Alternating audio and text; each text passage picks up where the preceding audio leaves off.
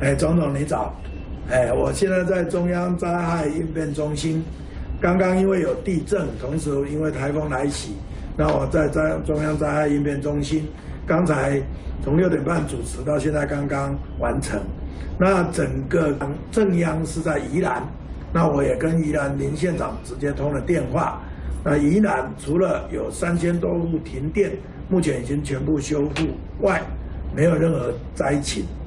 那宜兰的灾害应中宜宜兰的灾害应变中心一级开设，人员都有到位。那现场也表示，呃，各地都没有灾情的回报，不过他们都很注意。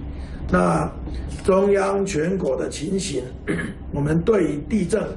也立刻有这个戒备的直升机两架直升机升空，就正央宜兰周边。诶，山区等等也都观察，目前没有灾情回报。那全台湾除了万华跟林口有这个停电，那目前也都修复，